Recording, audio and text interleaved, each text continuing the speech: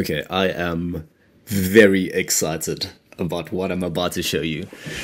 So, I've been meaning to play around with Claude Code, and I've been meaning to play around with it because, as you know, I, I speak a lot about the capture and retrieval side of things. The two main pillars of a good knowledge management system is easy capture and easy retrieval.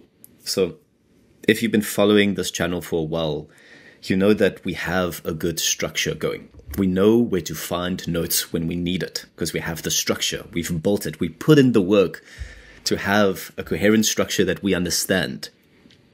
But now we have these tools that make capturing within the structure that we've built so easy. And I'm going to show you just a couple of use cases that I've been playing around literally for the last 24 hours. Didn't get much sleep in because stuff like this just gets my juices flowing. Okay, so quick side note I'm gauging interest in a hands on workshop on this Claude Desktop with Obsidian, walking through the entire setup and the exact workflows to simplify your capture and retrieval process.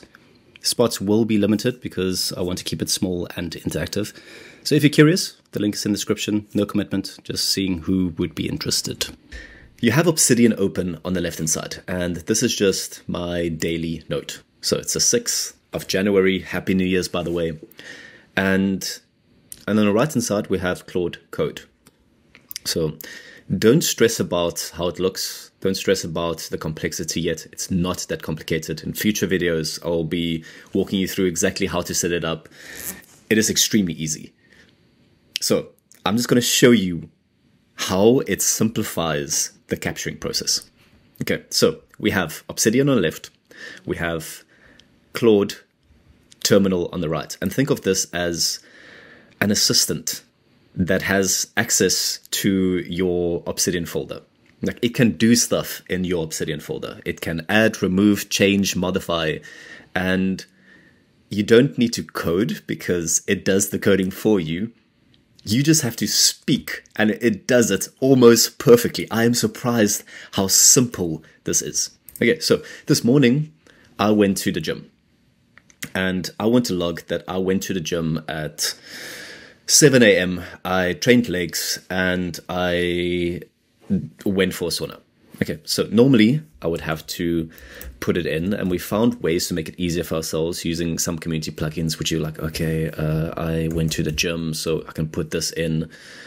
But then I need to fill in, okay, legs at train more, yada, yada, yada. And then I need to go to another line or a line above it if I want to have the, the time. And then I need to go down and I need to indent it. Okay, so that took a couple of seconds. But if you do this a lot throughout the day, then it gets a little bit tedious. So why don't we simplify it for ourselves? So I use Wispr Flow, which is just a voice to text uh, application that just records what you say and it just transcribes it wherever you are on your computer. So this runs outside of Obsidian. So I'm going to just speak into this terminal and it's just going to write down what I say. Okay, so here we go. On my daily note log that I went to gym at 7 a.m. this morning using uh, the similar gym log that I have for previous days, make sure that it indicates that I trained legs, and then do another timestamp at 8 a.m. that said I went to the sauna with the same logging for sauna related logs. Okay, so yeah, I have. On my daily note, everything I just said is pasted into Claude. So I'm just going to press enter. And this knows that it's operating in my Obsidian folder. So it's stewing. And every time it creates a different, um, what do you call it? A different word for thinking. And it's very cute. So you can see it's thinking, it's going to the right notes. And there we have it. How cool is that? Okay, so it doesn't just stop there. We have that where we didn't type anything and it knew with context of previous days that it needs to go fill this in. Okay, so now I'm learning Claude code and I want to have a log where I want to go to a work session that I'm going to write stuff down as I'm learning through things. So insert a log that shows that I'm working on project learning Claude.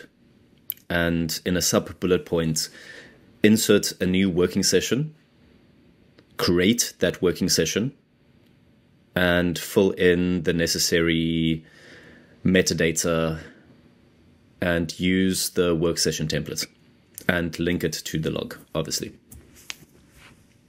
Okay, so now I'm just going to press enter and we're going to see what happens. So sometimes it's going to say, hey, I found a couple of notes that fits your description. Which one do you want to use? And you can choose, okay, I want this project to be mentioned, or I want this project to be mentioned, or this note, or if I have multiple templates with the same thing, it's going to ask me which template I want to use. Okay, log self-development coding. And it knew that I'm setting up, learning and setting up Claude code, and then it created this new work session. So now if I open up this work session, everything is filled in already. Okay, so let's say in the this note, I want to add that I added a new note. So I added this Claude note earlier, and I want to reference it in this work session. On the newly created work session, in a bullet point, add the Claude note that we created earlier and give a short description of why we added it. And it's just me typing. It's it's not even typing. I'm just speaking into it. I feel like a coding god with no coding. So this simplifies the capturing process down to zero. We have the structure and now we just use these tools to fit into that structure. And yes, it takes a little bit of time, but the hit rate of this system is 99%. I, I am I am so surprised at how good it is at understanding what I mean. And we have the notes. Oh, cool. Okay, so this is it doesn't just stop there. So let's say I uh, ran into a friend and I want to mention that uh, I have an idea for this friend, like let's say a gift idea. So I want to quickly list a gift idea for one of my friends. On my daily note, I want to log a gift idea for a person in my vault that is called Lucas Engineer. So I want to be in a log format with the hashtag gift dash idea. And the idea is to buy his mama house. And let's just see what happens. So I haven't given this command yet. So I'm hoping it's going to somehow understand what I want yes, it's on my daily notes. So it wants to execute some actualize, actualizing, some pondering. So we'll see what it does. But I, you can probably tell how excited I am for this. Um, yes, I want to proceed. So gift idea, and it went and found that specific person. So let's say we have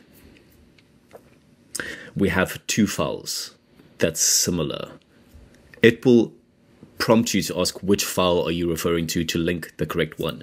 And I want a gift icon there, so I'm just going to add that as well. Add a gift icon to that log at the beginning. Okay, so for logs, this has completely simplified everything because it's context aware. It knows the notes within your system and to actually create the notes and link it up properly, like we did for this project learning and setting up Claude Code. It's it's making everything so simple because you don't even have to click to create it. You don't even need to select a template. You don't need to go full in the up because it's context aware. the next example is if we go look at the properties at the top of our daily notes, there's a couple of things that we might want to fill in. So typically, normally, you would have to go at the end of your day, sleep hours, sleep rating, healthy eating rating, log day rating, log energy rating, food, tags, summary. But I am lazy. That's why I started using Obsidian a couple of years ago because I'm the most lazy person you'll ever meet. So I want to make it easy on myself. So what I'm going to do is I'm just going to tell Claude to go fill it in. On my daily note, fill in the front end matter. I slept for eight and a half hours, so put down 8.5. My log sleep rating was 2. Log healthy eating is 1.5. Log day rating is a 1. Log energy rating is a 2. For food, fill in lasagna, chocolate chip cookies, potatoes. Tags, put in a tag Claude code, meaning Claude dash code, Obsidian Sauna. And for summary, the day I figured out how to use Claude code in Obsidian, and it's making my life amazing. So the hit rate is not always going to be 100%, but like I said, it is extremely close to being 100%. And what is cool is, let's just say proceed. What is cool is you can create a file that stipulates how it should work. Okay, so log sleep hours, sleep rating, everything is filled in perfectly. And yeah, I'm just happy with life, man. I'm just happy with life. We figured out the capturing hurdle. We have the structure, and now we figured out the filling in of that structure. Life is good. Life is good. Okay, so in the upcoming videos, I'm going to be talking a lot about this and I'm going to be spending a lot of time on this, which I'll probably be doing some workshops for people who are interested, for people who are as excited as me um, on on this subject. So let me know if you guys are keen on more of these type of workflows, because I, think this is a complete game changer. Uh, this is not just for capturing, by the way. I can see. Um, the retrieval process, basically asking information about your notes, is also going to be simplified a lot. So I just finished my year in review for 2025, and I'll link uh, article in the description. If you haven't done so yet, I highly recommend you to do a yearly review. But I got interested in my best and worst days. So I've kept a journal quite religiously for the last year, filling in the three main things, which is images, log day rating, and a summary. Based off those four inputs images, log day rating, summary, and tags about the day, I asked Claude to give me some insights. And because our notes are so well structured we we have bought into the daily notes first system. We've bought into the project methodology of how to tie things up how to relate things how to tie things to areas for instance that we have the structure and these ai tools is just assisting in those structure. I don't think you can go the other way around. I don't think you can just jump in to a tool like this and just start using it in your knowledge management system without you having a very rigid structure. And we have that rigid structure. The last four years of my life, I've been dedicated to building a structure that makes sense. Using these tools on top of that, Oh my god. It is it feels it feels like the best fever dream ever. It feels like I'm going to be pinched and I'm going to be woken up where somebody's going to say, "Hey, actually uh, we still live in the 1900s and this this type of technology does not exist yet." And I don't know what I would do.